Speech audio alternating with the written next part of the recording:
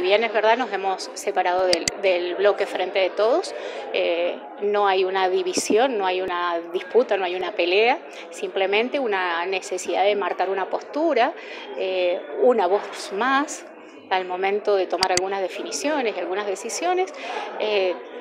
no sé si lo planteaba con ustedes el concejal Palma, pero desde este lugar hoy nos, nos, va a tocar participar de todas las comisiones de trabajo dentro del Consejo, eso es bueno. Eh, en lo personal he trabajado casi en todas, me faltaba participar de dos comisiones nuevas nada más, en este momento lo voy a hacer.